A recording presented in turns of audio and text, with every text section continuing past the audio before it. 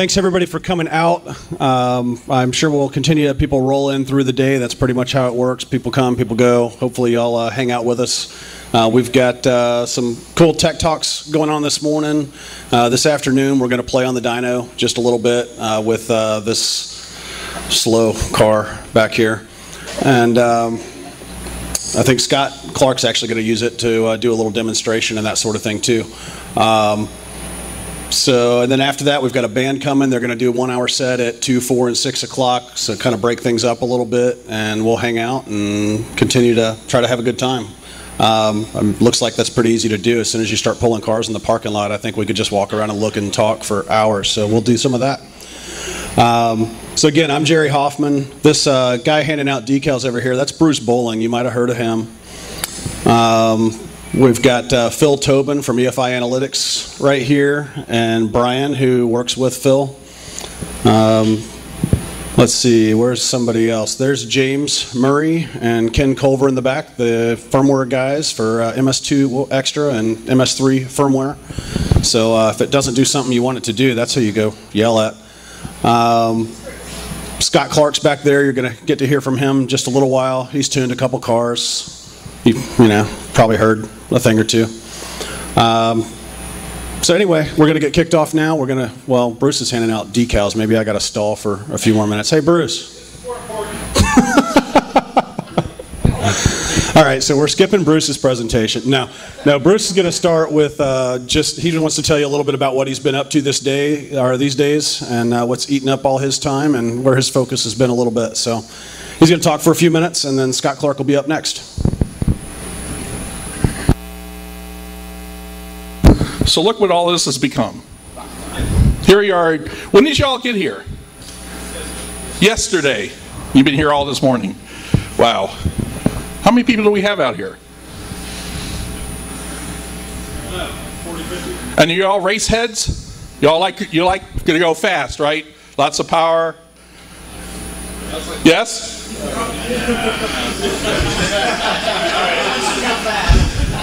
Who wants to go slow? Who wants to go really slow? I don't know if y'all heard me, but there's coffee out there if y'all need to wake up. So. Yeah, this is. right.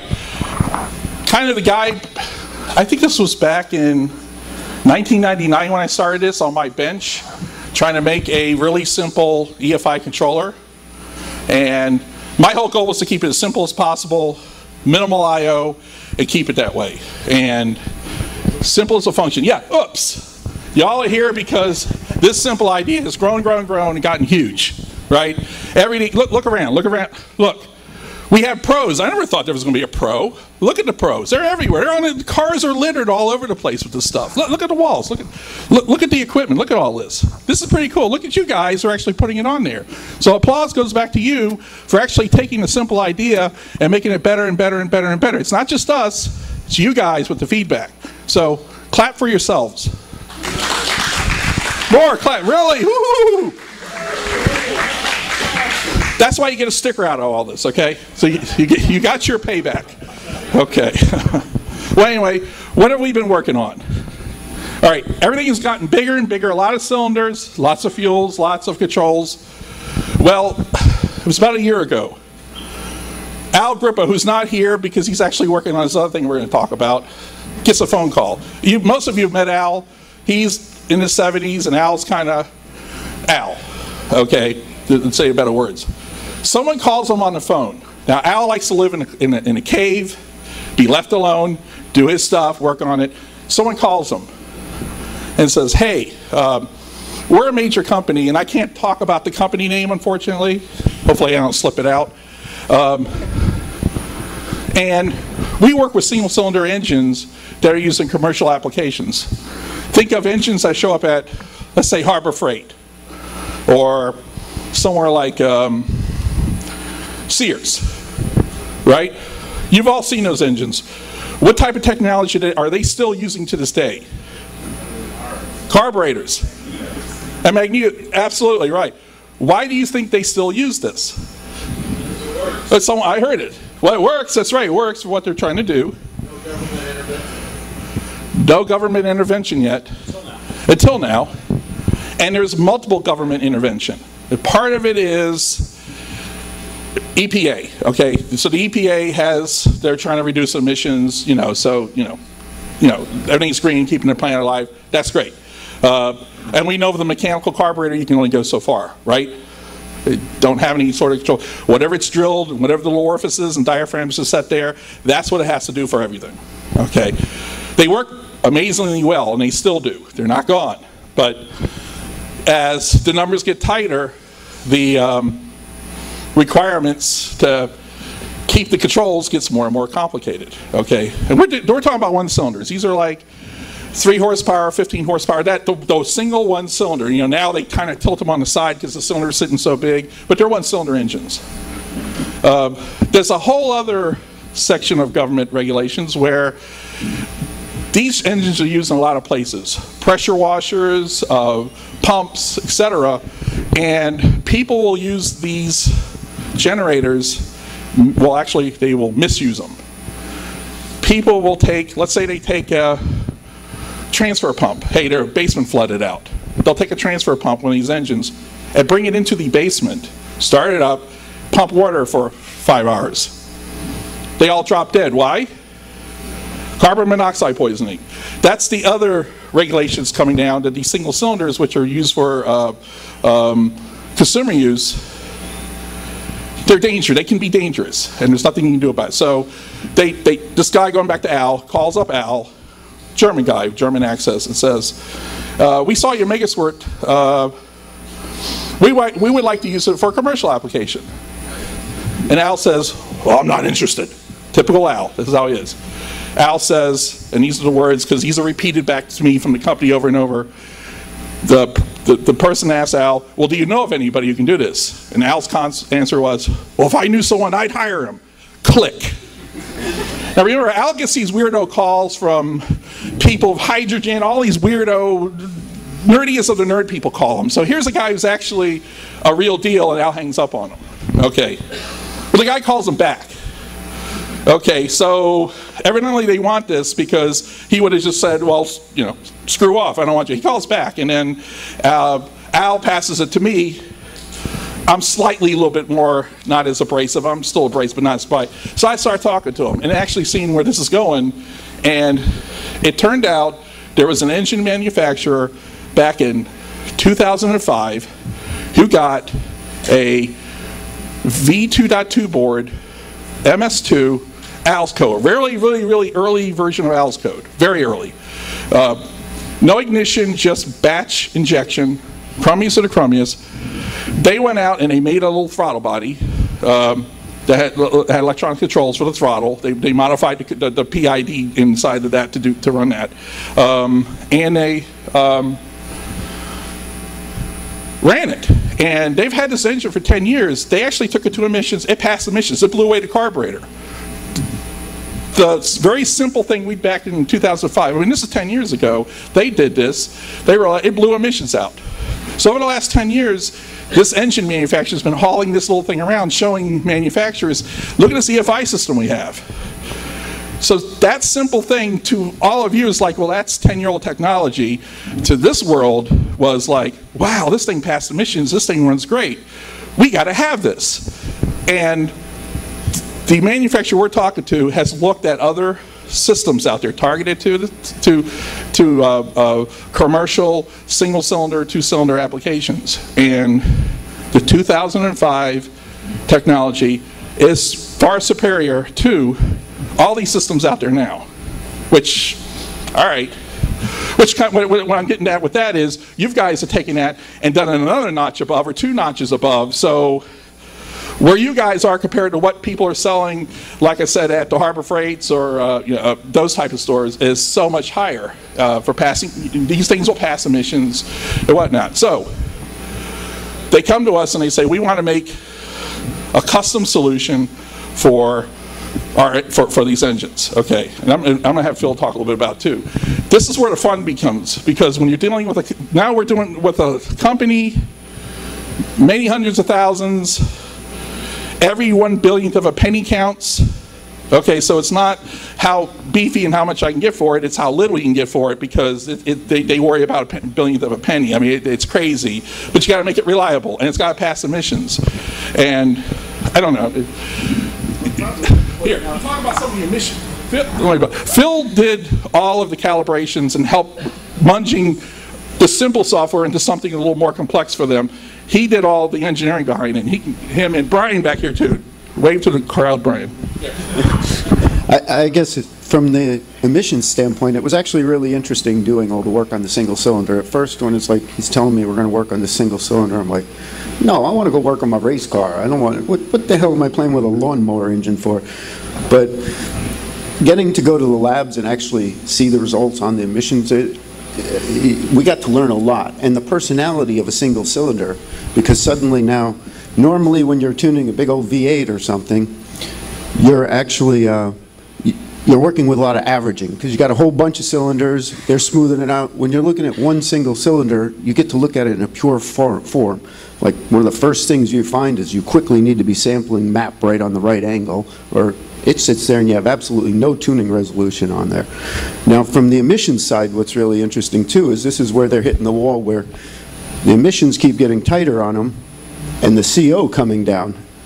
And that's very much a competing factor, because the emissions they basically measure, they're taking hydrocarbons plus NOx's. And naturally, you run richer, you're going to get more hydrocarbons. You run leaner, you're going to get more NOx's. Now, the thing is, is that the NOx's, as you go leaner, start climbing way faster. So what ends up happening with these carburetors is they're running them way fat in order, some of these things are running at 10 to 1 at wide open in order to stay under the emissions numbers. Hence, that's why they're pumping out CO like mad. And, and so by actually managing that, and that's where now we're able to calibrate it, so is that, well, in a lot of places, you don't need to be running so rich, because now you can control it at all different load points and whatnot in order to really dial it into what it needs, especially if you throw in a catalyst. And to Bruce's point on that, the other barrier that's always been in the small engine world is cost. They're so cost sensitive. I mean, they don't want to be throwing another hundred dollars to s- sell a device because obviously they can put an EFI logo on it, but how many people care that much if they're going to, you go and buy a weed whacker, well, you buy them for a hundred bucks. If it's going to cost another fifty bucks more, I'm not interested, you know, I'll take the carburetor. But with the volume they do and their supply chain, it's amazing how cheaply they can drive down the costs of it overall. So it, it- it's been actually rather educational, all in all. It- it- It's been a, a rough project in, at points, but at this point, it, it's really come along, and we're close now to, to moving into the next levels on it there. So, Yeah, a lot of, a lot of it was uh, big company, big politics. Okay, so this was the first, you guys are easy to work with, you know, something, you know, you know, James Kins put something in there in the code, you guys do it and say, hey, this is great, and they do the next day like that. Uh-uh, when you're dealing with big companies, and you probably all, a lot of you work for big companies, these are big companies, and first, they, they know they have to move to it, but they like the carburetor. It's the same deal that you all face every day when you're telling this technology and telling others who are not using it. And there are a lot of, well, I want to go this way, I want to go this way, or I want to have whatever on this single cylinder. I mean, people in marketing want to have this thing connected to the cloud. Everybody's thinking, you know, they, they go crazy with these things, but of course, then the cost kicks in. You can't do that. Um, one thing I want to do I wanna, uh, is, put up, can you put up the slide? And let Phil talk this a little bit, but there were some requirements with this. They worry about different things than you guys worry about. Okay? And if you've all ever torn apart a lawnmower engine, which everybody, who has not? All right, that's easier to say. You know that little flapper thingy in there that goes to get, there's a flywheel with a bunch of vanes on it, and it's that little flapper thing? That the plastic white little thing, you know what that's for, right? It's a governor. Okay. Well, most of us rip that off, right? And then hook it up so it's full, full throttle, you know, and they, they're expecting that. Um, it turns out that little thing, it's got so much engineering behind it because a lot of these applications, like let's say a pressure washer, pressure washer runs at 3,600 RPM. And it's got to stay at 3,600. If you throw a load on it, from low load to high load, it's got to stay at 3,600. The, the, the requirements are incredible. It's some number like Uh, Plus or minus- Plus or minus 20 RPM and whatnot. And there's no fee in- for In some applications, much more tight than others. Yeah, some aren't that tight, but. And overall, from, from load to load, it's something like 300 RPM. It can't dip down plus or minus 300 RPM from that 3600 if you have no load to infinite load. Okay. Now, we know we have pressure washers out there and they're going, you know, so, but when they leave, they will be working right. But, you know, there's degradation and all that. But when they're working right, and these things are highly tested, they do 500 hour testing on these on these engines, pull them back off of check emissions to check these type things. Um, so there's a lot of engineering behind it. It's not just they throw an engine out there. They're, this is their careabouts. So I'm gonna let Phil talk about this and what this shows you. Yeah, well, what By only one slide. Well, what this shows is that while they tell us plus and minus 20 RPM, apparently they weren't achieving it. Because when we went out and actually started capturing the data logs for how regulated they were keeping their speed control, compared to that was one of our biggest challenges in order to make sure, well, I guess backing up just a bit, part of their cost to save money to pay for the EFI, what they were really trying to do was remove the mechanical governor. And now if that could be controlled by the EFI controller as well, well, some money they save there, they can apply towards EFI. And so what we were doing, we took, on the left side is actually a carburetor that we just rigged up to capture the data on and see how well are they really Yeah, doing Brian, the speed plane. Brian did that. He, he hooked that whole thing up and that's data from a production, buy it off the shelf engine with that little control. And, and this is actually a much earlier, because this Yes. was, this was an early prototype, this actual screenshot, because we've tightened that up a whole lot more now. But, but yeah, so the biggest thing you see too is that, well, for one, the way the mechanical governor's working under very light load, it isn't even really targeting 3,600. It's up at 3,850 and 3,900. The higher the load, the closer it actually gets to actually making in numbers. Over here, you know, because we're doing it electronically, we're, we're really targeting the whole way across. Light load was one of the biggest challenges, and that's where we've really tightened that up right now. So this is like across on the X's, different load steps, okay? And then you let the engine run, and it takes the data. Up and down is this 3,600 RPM and the variation in it. So that's why you see these, these clusters, because this system, when it fires up, it can go to any RPM it wants. It's capable of you putting a pot on there, and you can make it engine, it'll just follow it. It'll do steps. When you shut down, it'll idle and then kill itself. It's got uh, the systems like all the stuff like, you know, if you have a fault, if there's an emissions fault, it's got to shut the engine down. And you got to have a way of being able to pull error codes out of it. So you do you can turn the key switch on and off several times. It'll get into these modes. Um, but uh, like Phil was saying with this, uh, uh, the, the uh, mechanical, you see the slope, right? That's what Phil was saying. See how it slopes up? Uh, less load, it goes higher. And then as the load pulls down, the mechanical one goes down to this 3600. So they can't get that tight uh, regulation that an electronic system can, which is over there. And like Phil said, this was our first shot. Now, of course, they came back and said, well, can you make it better? It's all right.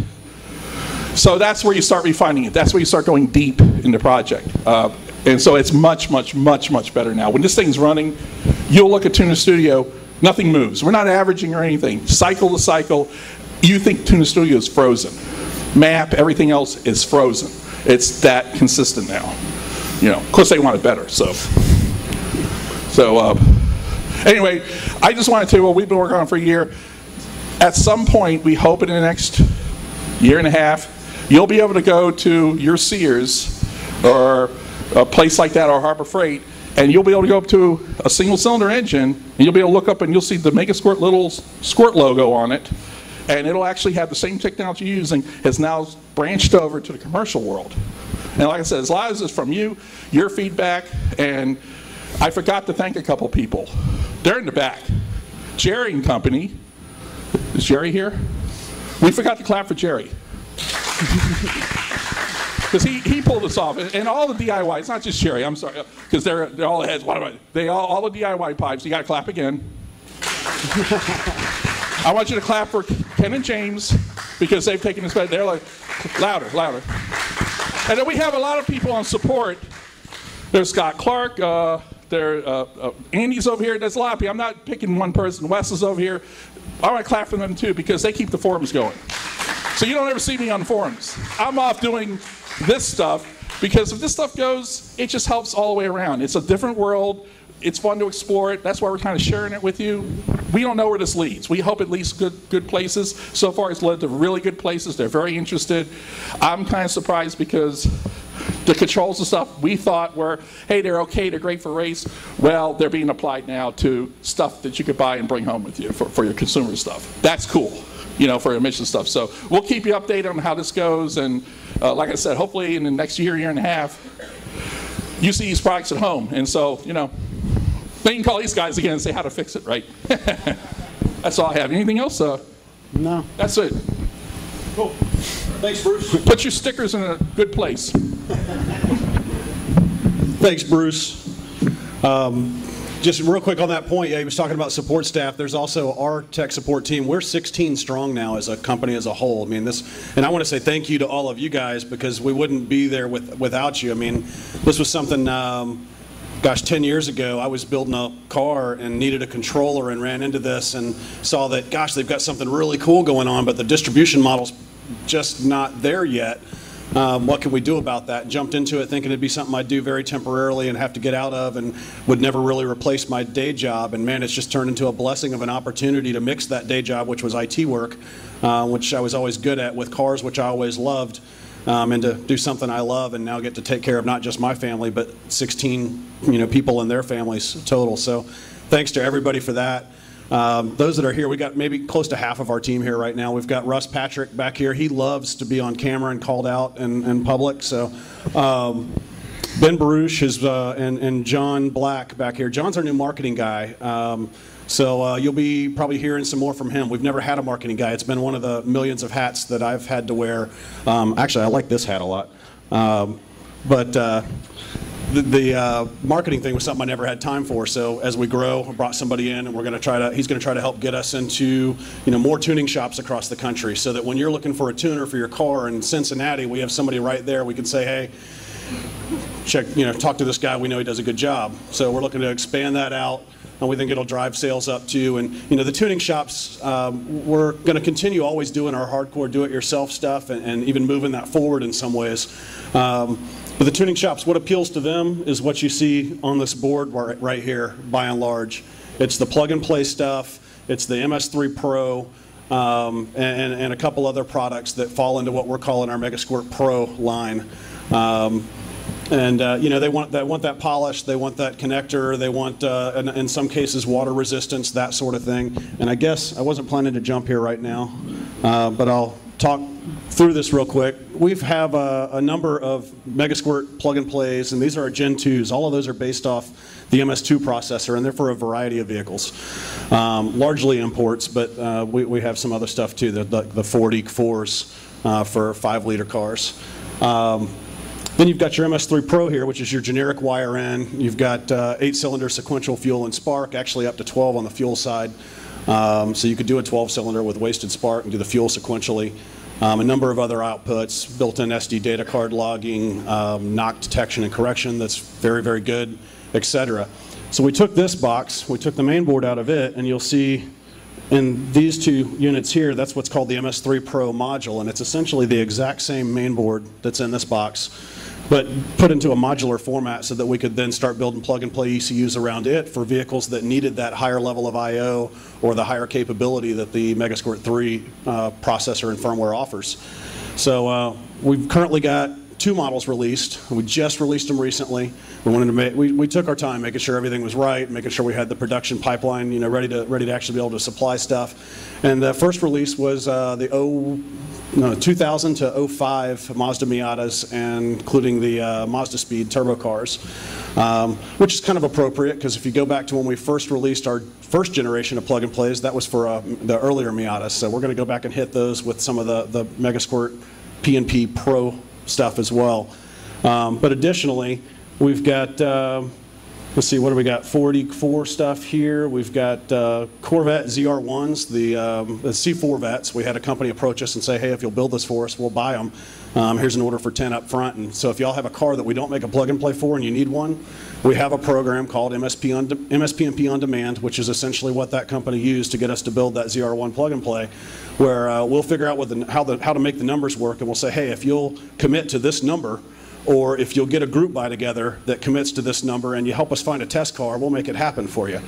Um, Let's see, additionally up here, what do we have? We have the 2JZ, which um, is a motor that I, I like a lot for the you know, Mark IV Toyota Supras, um, as well as the SC 300s and 400s in the, in the mid 90s. Um, the car that we developed this on is actually sitting right outside the door here. It's that white uh, Mark IV Supra out there, and he's running one right now. Um, does a great job.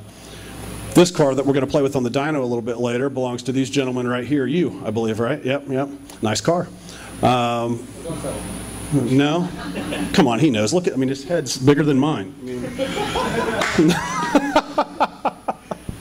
Um, so anyway, that's a little bit of that. Um, I meant to, I wanted to, and, and will, bring out the packaging that we use for the MS3 Pro and just kind of show you what, when you order an MS3 Pro, what you get. Because a lot of you guys probably started with our kit stuff and may still use our kit stuff, and it's great. But because of the super tight margins and you know how tight that market is, we still ship that in a generic cardboard box and probably used uh, newspaper that a lady at church brings me so that you know it keeps costs down. Um, but with the pro stuff, we actually went out and I could have just had somebody vacuum form packaging trays for me, right? But I don't do things the easy way a lot of times. I bought a vacuum forming machine and, and we actually draw those suckers right here too, so it's all done in house. Um, but the packaging is nice. You know, it's it's not what you might be used to when if you've ordered a kit in the past. It, it's uh, catering to that different customer because we realize that there's different markets. So. Um, that's that in a nutshell. I want to say thanks. I never in my, uh, and never in a thousand years would have dreamed that this little side thing that I started in a spare bedroom at my house would have gone the direction that it has. Um, it slowly, though, crept and took over the basement, and then I had UPS and FedEx and six other cars lined up down the street every day, and eventually it's like, gosh, time to move. So, you know, uh, it's gone uh, really well, and I want to thank all of you guys for that, and gals, I saw a couple.